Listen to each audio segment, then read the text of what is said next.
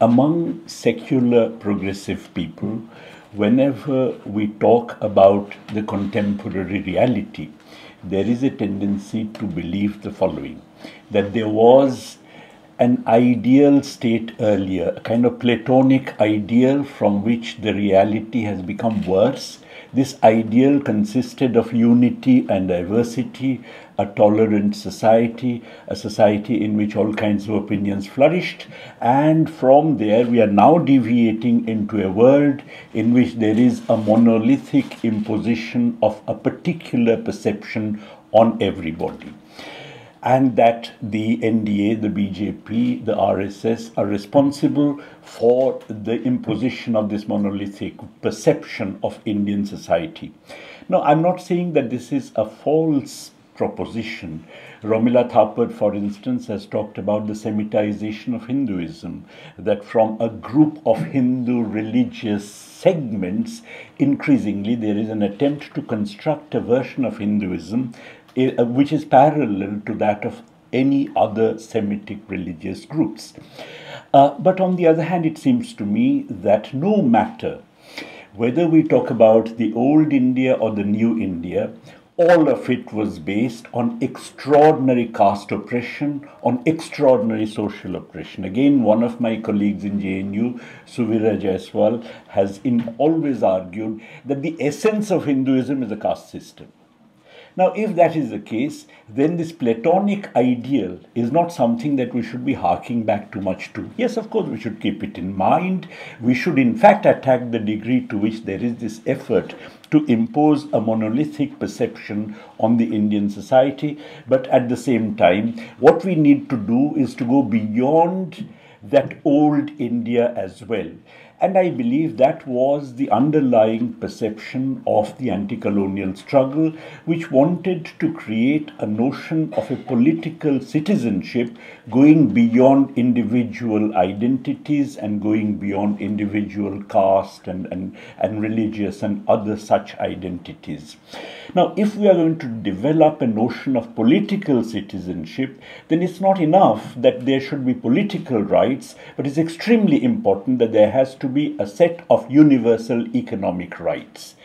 And these economic rights, the minimal economic rights to my mind, would be a right to food, universal right to food, a universal right to employment, a universal right to free publicly funded education, a universal right to free publicly funded healthcare, and of course, a universal right for uh, old age pension and, and disability assistance. Now, these, to my mind, are minimal universal rights which have to be institutionalized if we are going to define a concept of citizenship that goes beyond individual caste identities and so on, create an alternative perception of an Indian which is not submerged in the kind of identities to which people are born.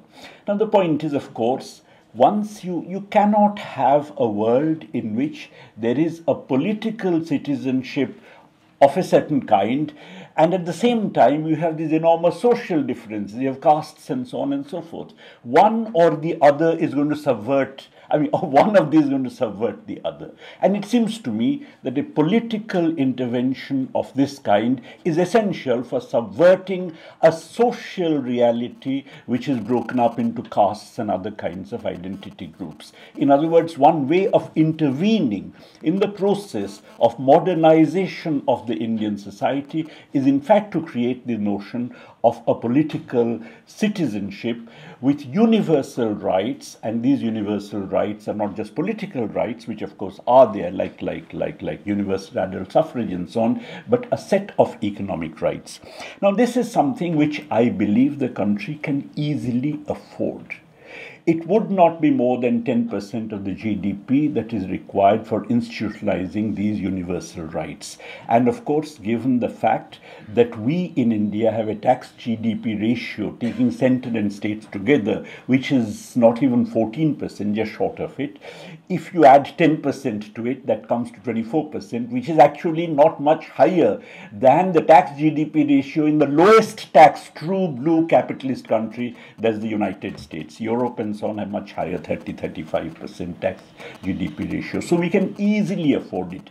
India is one of the countries where the tax GDP ratio is among the lowest in the world, and consequently, we have enough resources to be able to afford it. Now, this, of course, universalizing a set of rights does not by any means preclude affirmative action. On the other hand, affirmative action would have to be added on to it. But on the other hand, the kind of resentment that affirmative action creates, and of course, the kind of jockeying for being the beneficiaries of affirmative action that is currently created is something that would disappear. It seems to me that one of the important factors behind the rise of the NDA, the BJP, the RSS, is actually, in a sense, the support of certain intermediate strata, which, act, which, which, who, who are, as you know, I mean, who, who, who, who, whose resentment is being nurtured vis-a-vis the kind of vaguely, slightly progressive policies of redistribution that were effected under the UPA regime. I think Mikhail Kalecki, the Polish economist, had this idea that intermediate strata are very important in third world societies, including societies like ours. The intermediate strata formed earlier the backbone of the public sector and the Nehruvian dirigism. The intermediate strata, in a certain sense, are now being increasingly mobilized for a cause of a neoliberal policy which is yoked to communal fascism. And I think if we are going to break that kind of yoking, then it's essential, in my view, to have a institutionalization of a set of universal rights which are enjoyed by everybody. And as I said, we can easily afford it. Now, this, of course, would require some kind of a going back on neoliberalism, of course, a reversal of neoliberalism. It would require capital controls because immediately Moody's might downgrade you. But th- these are things which are absolutely essential if we're going to recapture uh, the political space required for ex- giving expression to the idea of India that all of us are concerned with. Maybe I should stop there. Thank you very much.